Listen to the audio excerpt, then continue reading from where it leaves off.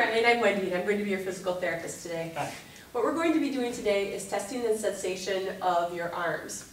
So the first thing I'd like you to do, if you can, is roll up your sleeves for me so that your arm is exposed. Perfect, thank you. Now, what, and I'm going to have you put your hands on your lap with actually your palms up for me. And what I'm going to be doing is uh, touching you with my finger. And so I'm going to show you on your leg. It's going to feel like this. And what I want you to do, uh, what I tell you is you're going to close your eyes. And then I simply want you to tell me left, right, or both. Okay. Okay? Do you have any questions about the procedures? Nope. All right. So what I'd like you to do is go ahead and close your eyes for me. Right. Left. Right. Right. Right. Left. Right. Right. Left. Left.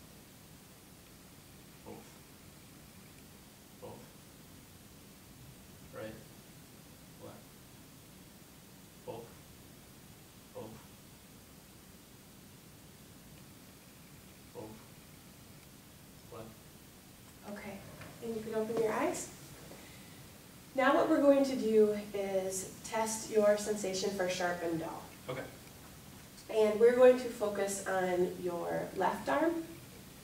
And so now what you're going to do is say either sharp or dull. Okay.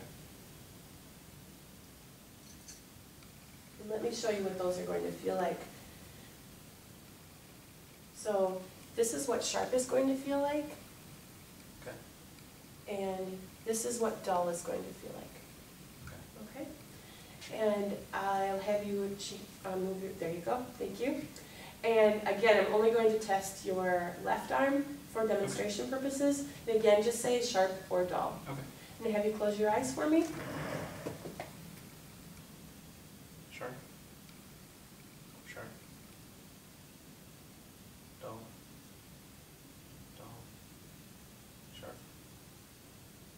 Sharp. Sharp. Sharp. Sharp. Sharp. Sharp. Dull. Sharp. Sharp. Sharp. Dull. Sharp. Dull. Dull. Dull. Sharp. Sharp.